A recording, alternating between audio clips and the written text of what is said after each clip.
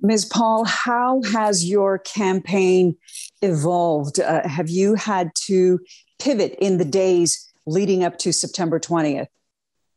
Well, we're really pleased uh, that we have had the opportunity to do some uh, travel outside of uh, the, the Toronto Centre riding. Uh, I was just in Kitchener Centre a couple of days ago. Uh, I think we have a really good chance there. I had a Maritimes rally with a lot of our Maritimes uh, candidates out in PEI. Um, we also got to spend some time with our candidates in the um, Quebec uh, border, Quebec Ontario border area as well. So that's been nice. And it's a change from the beginning of the campaign where we were really focused on uh, Toronto Centre uh, and running the national campaign out there. The uh, Green Party is not represented in uh, all ridings. Uh, where your party is not running a candidate, who should Green Party supporters vote for? Yes, you know, it was really a disappointment not to have candidates in all of our, our ridings, and I had expected that we would. I'm very proud of the ones that we have, particularly because many of them came to us through the, the Time to Run campaign that I launched, which was focused on getting more diversity into our party. Uh, and about 70% of our candidates come from equity seeking groups this time around. So I'm really proud of that. Uh, in terms of all the ridings, including ours, what I say to people is vote for the person you think is going to be the best representative, not only for your community, but for the issues that matter to you. Uh, I hope that those issues include the climate. I hope that those issues include completing our social safety net so that we can take the lessons we've learned from the pandemic. And I hope that uh, they're voting for a, a, more just society because we really need to work on that. Uh, so, whomever they think is going to champion those things in Ottawa, that's where their vote should be. Where do you hope to win seats? Where would you like to win seats? Well, we're hoping certainly to hang on to our seats in British Columbia, and I think we're in good shape for that. Um, it's a very, very tight race. I, I, don't know if you're following it uh, out in Fredericton, but that is a very, very tight race as well, one where we could come out on top. Uh, and then certainly here in Ontario, we're hoping to win a couple of seats as well. That being said, you know, elections are unexpected and sometimes uh, things happen that you don't expect. We didn't expect to win that seat out in Fredericton in 2019. Uh, the goal has to be in an election to elect as many Green MPs as possible. When you uh, take a look back, let's uh, talk about some of the uh, lessons learned. There were some uh, accusations of uh, infighting, uh, anti Semitism. former BC Green leader Andrew Weaver was accused of supporting the Liberals' climate change plan. What do you walk away with? It, it's it has been very tough. I mean, there's there's no uh, dissimulating that it's been very tough. Uh, we we did enter this uh, election cycle um, weakened because of the things that had happened. Uh, I, I, I have said before I wouldn't call it infighting. I certainly was not uh, fighting um, uh, my party, and and I'm just a person, um, you know, having to deal with an entire system but uh, you know that's something that I feel very badly about because I know that uh, the climate in particular is something that is really on people's minds.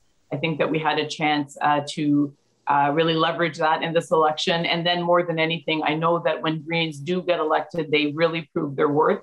And so anything that compromises our ability to get more candidates elected is something uh, that's disappointing to me so you know it's been uh, it's been very difficult. I've, I've tried to use this role uh, to give people a window into what it's like for women and people of color in politics. It's it's very tough. Uh, it has been a very difficult experience.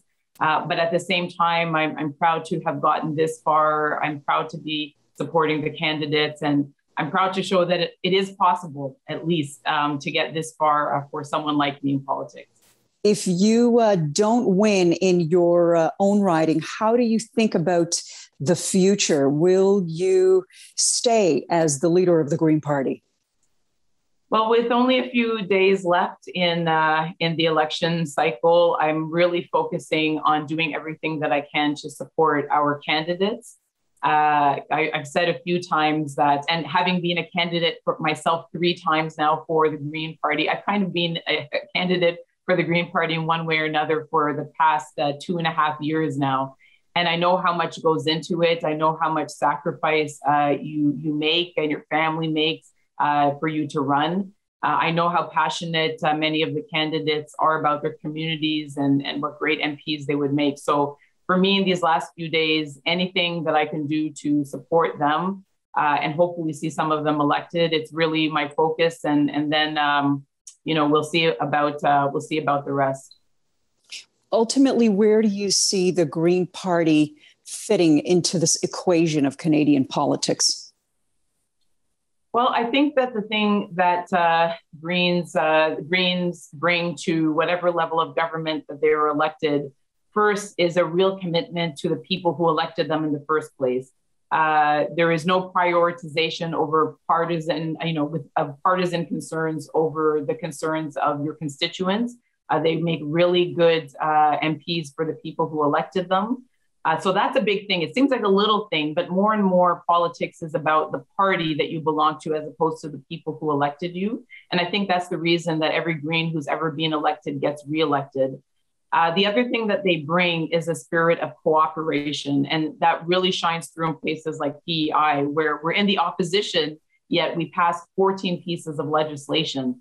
Uh, that's un, you know that's unheard of in the way that we conduct um, uh, and conduct ourselves in Parliament. Uh, so that's the kind of spirit we bring: cooperation, collaboration, willing to work across party lines. And given the big issues that we're facing right now, we just need more of that. We need more of that in Parliament, and that's something that Greens can offer. Ms. Paul, um, indulge us for a moment. If it's not you going forward, who and what would you like to see for the party? Oh, I, I, I haven't uh, I haven't cast uh, my mind uh, to that uh, at all. I really um, I'm just again I'm focused on these last few days and just considering every the circumstances under which I'm, I'm doing this election. It's just about all I can do right now. Um, and I would say ultimately that question it, it's an excellent question, but one that will be up to the members of the the party uh, I think that there's going to be a lot, uh, a lot of eagerness to try to take lessons from this last period and, and learn uh, from them from amongst the members, but, but that will really be for them to do.